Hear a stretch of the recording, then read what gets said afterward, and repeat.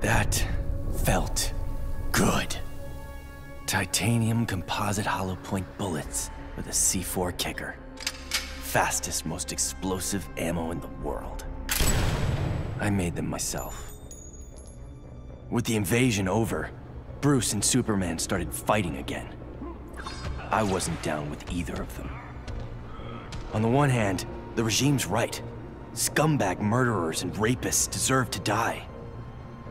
But on the other hand, I'm no fan of government authority, especially the dictatorial variety.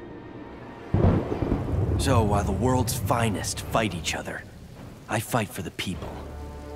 The weak, the innocent, anyone who can't protect themselves. When they cry out for a savior, I'll answer. As for the criminals who threaten them, they need to know that their actions have consequences. That the Red Hood is coming for them.